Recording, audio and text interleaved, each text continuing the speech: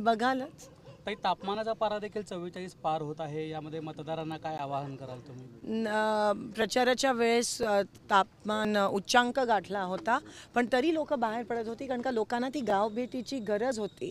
आणि गावभेटीच्या माध्यमातून आम्ही लोकशाहीची चळवळ ही जिवंत ठेवली.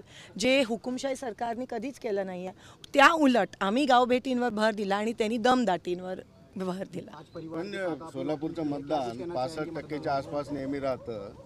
जास्त मतदान व्हावं यासाठी लोकांना काय आवाहन कराल? नाही नक्कीच आम्ही लोकांना सांगतोय की जसं आपण गावाकडे जत्रा असली की सगळेजण जातो तसं आज पण लोकशाहीची चा सण आहे आणि तो साजरा करण्यासाठी प्रत्येकाने मतदान करणं हे गरजेचं आहे.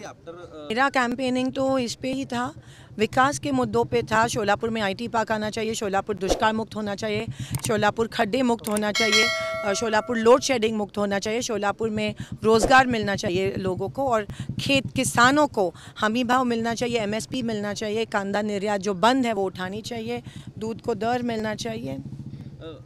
महँगाई कम होनी चाहिए।